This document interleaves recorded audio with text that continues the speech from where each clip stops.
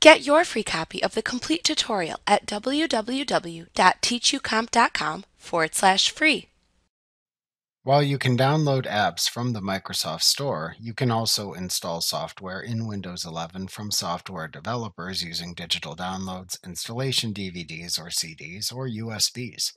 When you install new software, there is often an executable file for the software that starts the installation process for you. Follow the installation instructions within the installer that opens to install the software to your computer. To manually uninstall computer software that is not an app you downloaded from the Microsoft Store, you can use the Control Panel window. To open the Control Panel from the Start menu in Windows 11, click the Start button in the taskbar and then click the All Apps link in the Start menu to show all apps on the computer. Then click the Windows Tools app icon to open the Windows Tools window in File Explorer. Then double-click the Control Panel icon in the File Explorer window to open it.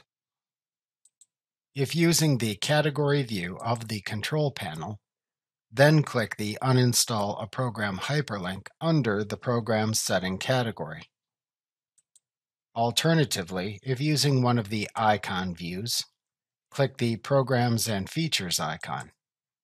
In the Programs and Features control panel window that then opens, click the name of the installed software application to uninstall or change. Then look in the thin gray toolbar that appears above the software list to find the commands you can select. To uninstall the selected software, click the Uninstall link. Alternatively, if needed, you may also see buttons for options that let you change the software installation or repair the installation depending on the software. You can click whichever button you would like to begin that process. Note that the process for uninstalling an app downloaded from the Microsoft Store in Windows 11 differs from this process. To uninstall an installed app in Windows 11, right-click the app icon for the app to uninstall within the All Apps list in the Start menu. Then click the Uninstall command in the pop-up menu that appears to remove the app from your computer. Depending on the app, you may then need to confirm you want to uninstall the app in a confirmation window that appears. Like what you see? Pick up your free copy of the complete tutorial at www www.teachucomp.com forward slash free.